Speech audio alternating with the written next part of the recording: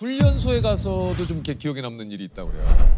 예. 에, 훈련소 때 진짜 충격 아닌 충격을 받은 적이 있었는데 첫 샤워를 하러 갔을 텐데 그러니까 훈련병이신 많은 동기분들하고 같이. 이제 네. 데뷔하고 나서 이제 네. 데뷔 데뷔한 지 이미 거의 10 년 막 됐을 때인데 어 뭐 전우치 개봉시키고 이영재 개봉시키고 초능력자를 마지막으로 개봉시키고 극장에 걸려 있을 때 간 거예요? 갔었어요. 갔는데 아무튼 어 샤워장에 갔는데 샤워장에 사람이 너무 많은 거예요. 어 그렇죠. 네. 예. 다, 예. 목욕탕이던데요. 예, 예. 네, 네. 맞아요, 맞아요. 그리고 이제 들어가니까 그 수많은 친구들이 갑자기 조용해지는 거예요. 옷 벗기가 너무 부담스러운 거예요. 이게. 어, 이게 아. 그래서 심지어 그때 제가 옷을 벗으려고 하는데 그 조교 친구도 자기도 되게 놀랬나 봐요. 그러니까 이건 아닌 것 같다 싶었는지 갑자기 저한테 오더니 139번 훈련병. 네, 139번 훈련병 강동원. 괜찮겠나? 그때 그리고 그때는 이제 약간 훈련생과 조교보다는 약간의 그 인간적인 게 있었어. 아, 그러니까. 저도 그냥 보통이면 네 괜찮습니다 이러는데 괜찮습니다.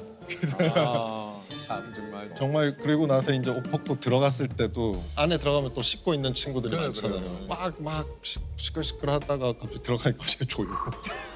물소리만 나는 거예요. 아 역시 이게 영화도 그렇습니다만 훈련소에서 그 등장씬이 아 굉장히 있죠 있죠. 예. 네. 아니 그저 어, 우리들의 행복한 시간은 어, 우리 강동원 씨의 필모 중에 가장 감성적이고 좀 또 절절한 작품이라고 얘기를 할 수가 있습니다. 1분 1초가 아주 사는 게 아주 미치겠습니다.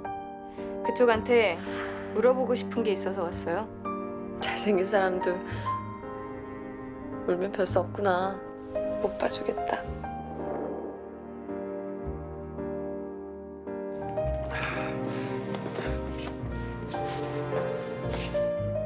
고마웠습니다.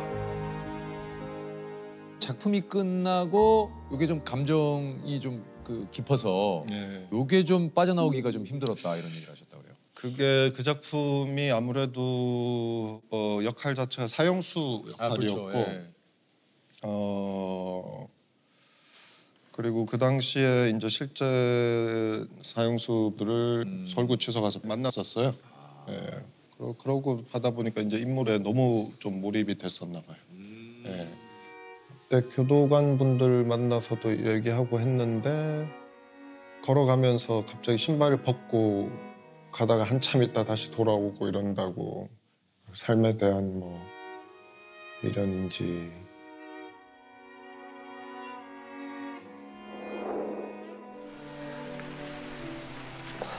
잠깐만.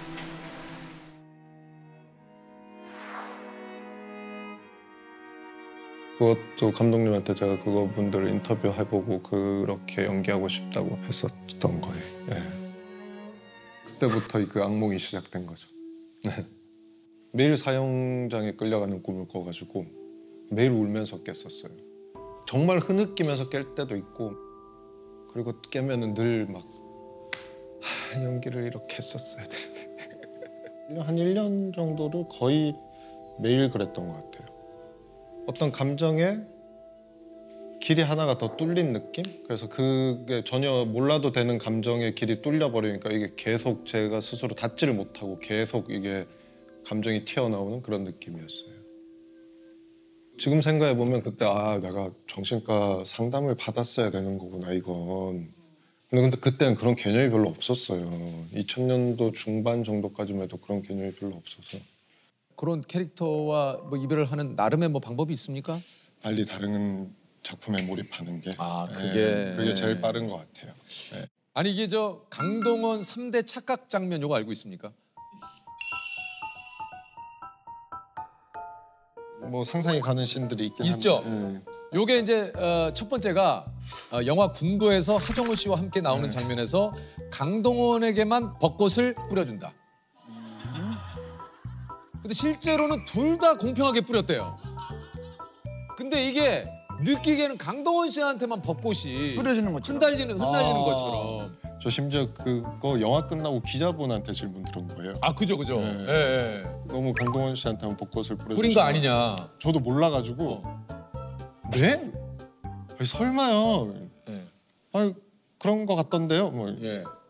설마요 이러고 그거 인터뷰 끝나고 감독님한테 벚꽃 뿌릴 때 우리 이, 이쪽만 뿌렸냐고 그랬더니 제가 미친 놈이에요. 그래서 그렇지. 감독님 입장에서 아니 똑같이 등장하는데 꽃을 뭐 강동원 씨한테만 뿌렸겠어. 진짜 제가 미친 놈이에요. 어. 나주 백성들의 철천지 원수자니 내 엄니와 누이 원수이기도 하고 그래. 제사상에 니놈 숟가락 하나 더 얻는다고 고인이 노하진 않겠지. 두 번째는 뭐냐면 검은 사제들에서 강동원 뒤에 후광이 비치고 종소리가 들린다. 이런 또 착각이 있다 그래요. 근데 이게 실제로는 후광도 없고 종소리도 없다면서요. 없어요. 근데 왜 이런 착각을 이모렌 크리스티아니 duello confessere mirando 추가로 검사 회전에서 왜 강동원만 다른 옷 입히냐고들 하는데 실제로 다 같은 죄수복이. 아니 왜 우리가 이런 착각을 자꾸 하는 거지? 아니 죄수복이 그게 뭐 다를 죄 없잖아요. 없죠. 다 똑같았어요. 똑같았는데 뜻이 다 달라. 달라, 달라. 완전 달라요. 자 작업합시다 형들이 안 되는 게 이런 반응들 뭐 이게 다 또 어떻게 보면 그만큼 또 강동원 씨에 대한 관심이자 많은 분들이 이게 또 이런 또 재미잖아요. 그 많은 작품들 중에 본인의 성격과 그래도 조금은 닮아 있다. 닮은 캐릭터가 있다면 뭐가 있을까요? 다 조금씩 이제 저 안에 있는 걸 되게 극대화시키거나 막 해서 연기를 하긴 하는데 전우치 같이 개구진 면도 저한테 있고요.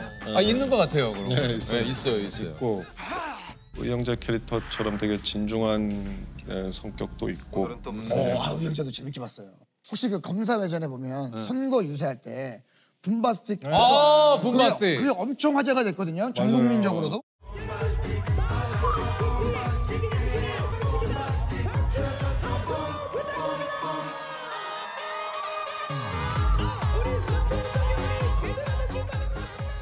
빰빰빰빰빰빰빰빰. 빰빰.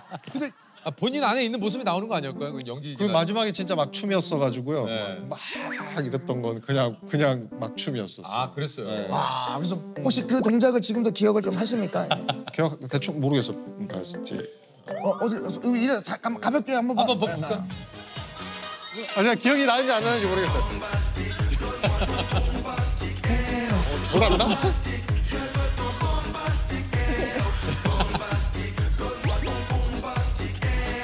어, 요 다음이 기억이 안 나는데? 빰빰. 아, 요 다음에 그냥 나갔고 나봐. 아, 아니 이게 저 일전에 그 윤여정 쌤이 그런 얘기를 좀 하셨어요. 힘들다는 푸념에 본인이 더 힘들었다는 걸 피력을 했다. 너무너무 힘이 들었다. 영하 10m의 노인네가 76세 먹은 노인네가 할래니까 그랬더니 자기는 영하 10도에 비가 오는 비 맞는 씬을 찍었대요. 그럼 머리가 이렇게 언대요. 그런 걸 녹이면서 찍었다. 그래서 아, 그래 네가 이겼다. 난 비는 안 왔어. 사실 우리 그 대선배님이 아유 힘들어하면 아 그러세요. 아 뭐가 이렇게 힘드세요? 뭐 이럴 수도 있는데 제가 더 힘들다고 얘기하기가. 요거는 그래서 유현 선생님이 그때 얘기하셨어요. 많이 놀랐다고. 네.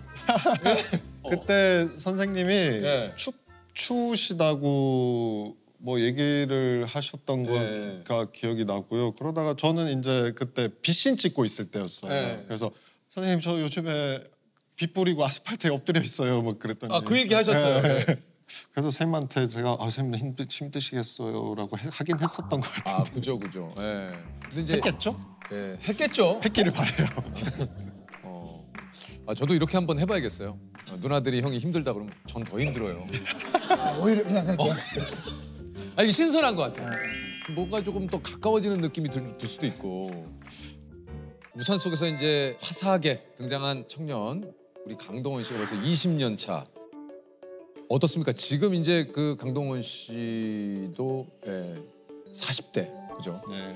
우리 40대 강동원과 30대 강동원, 20대 강동원 본인이 생각했을 때는 좀 어떻게 좀 다른 것 같아요? 40대쯤 이제 저보다 40대가 넘어서면서 음, 많이 여유로워진 것 같아요. 그래요. 네. 많이 여유로워지고 화도 별로 안 나고 어. 예전에는 아 이게 왜 안 되는 거야 뭐 이랬는데 지금은 그안 되는 거지.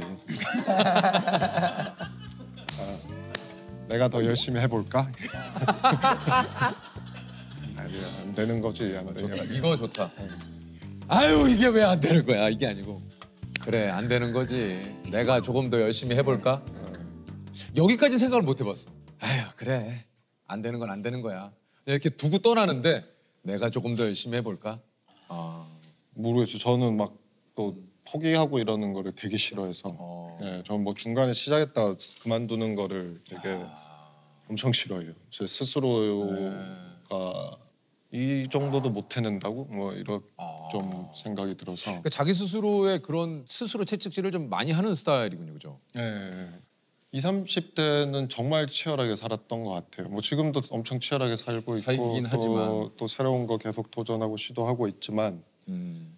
이제 경험이 많이 쌓이고 이러다 보니까 그냥 해결책들이나 이런 것도 이제 더 빨리 많이 알고 있는 것도 있고 이러니까 음. 확실히 여유가 생기는 것 같아요. 만약에 20대로 돌아갈 수 있다면 가고 싶으세요? 어떠세요? 저는 안 가고 싶어요. 왜요? 아 그 힘든 시기를 다시 거쳐 다, 예, 내가 어떻게 여기까지 왔는데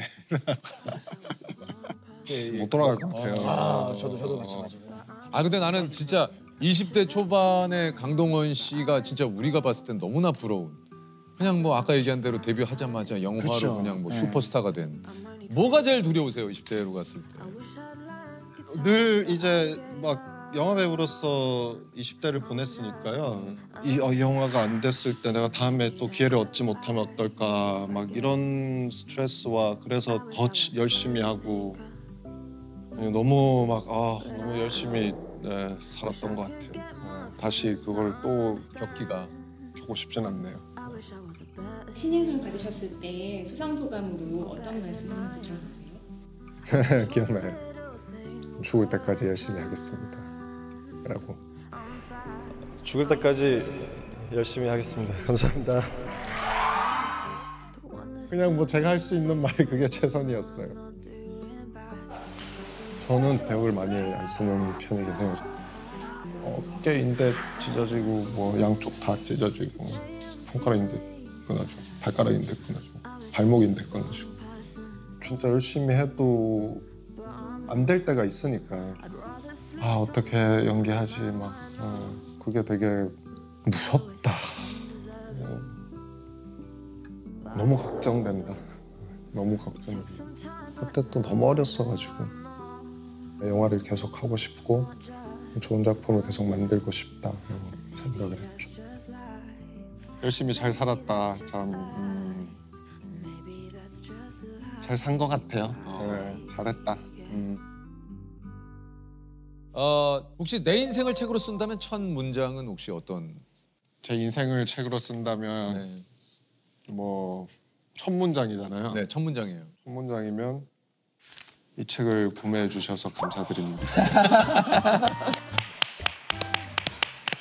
아, 한마디 더 보태자면 뭐 이 책은 지극히 주관적이고 사실과 다른 내용이 다수 포함되어 있을 수 있으니 참고 바라시고 너무 화를 내지 말씀하셨으면 좋겠습니다. 어 약간 이과 느낌 아니에요? 어, 저 이런 게 조금 현실적으로. 현실적인 아까도 제작자분들에게 은행 이자라도 예 돌려드릴 수 있으면 너무 좋겠다. 아니 이게 이제 강동원 씨가 본인 스스로를 뭐 상업 영화 배우다 이렇게 얘기를 하시는데 이게 쉬지 않고 꾸준히 작품을 하는 원동력이 있습니까? 저요 일단 뭐 일하는 게 너무 즐겁고요. 음, 에, 예전에는 일할 때 스트레스도 많이 받았는데 요즘에 일할 때가 제일 행복한 것 같고 그래요. 예. 그 다른 사람의 인생을 표현하면서 이제 누군가에겐 위로를 줄 수도 있고 누군가에겐 또 즐거움도 줄 수도 있고 스릴을 줄 수도 있고 그 만들어가는 과정 자체가 너무 즐겁고 혹시 이 길에 들어선 걸 후회한 적 없습니까? 어 전혀 없어요. 너무 아 정말 이 길에 들어서길 잘했다. 예, 배우하길 정말 잘. 정말 잘했다. 예. 저는 일을 너무 좋아하는 것 같고요. 예. 너무 즐거워요. 의미 있는 일이기도 하고 예전에 브로커 같은 경우도 이제 우성아 눈 떠봐 눈 떠봐 어? 400으로 하시죠 아니 어제 천이라고 하시지 않았어요? 아 이래가지고 400도 많죠. 중대하면서 보육원 출신 분들 만나서 얘기해보고 보육원 친구들의 마음을 좀 담아서 그분들에게 위안을 주고 싶었고 관객분들께도 전달을 해드리고 싶었고 이를테면 좀 누군가 동정하고 그런 느낌보다는 사회에 잘 적응하고 음, 모습을 보여주고 싶었어요. 그러면서 책임감도 크고 예, 어깨 어깨가 무겁죠. 그때 만났던 보육원 친구랑 원장님이 오셔서 영화를 둘이 같이 보고 손을 잡고 울, 울었다고 하더라고요. 네. 너무너무 감사하다고 전해주세요라고 네. 왔어가지고 어쨌든 내가 조금이라도 나은 사회가 되는데 조금이라도 도움이 됐으면 좋겠고 이런 면이 우리 사회에 있다라는 거를 좀 알려드리고 싶기도 했고 좋은 일을 하는데 의미도 있고 얼마나 좋아요. 저는 지금도 사람들이 물어보면 언제까지 언제 은퇴할 거냐고 물어보면 저 내일 나갑니다. 난 은퇴 안 할 건데 나는 죽을 때까지 연기할 거고. 내가 행여나 혹여 정말 병에라도 걸린다면 병에 걸린 역을 맡아서 연기하고 싶다고. 어, 늘 많이 생각하죠.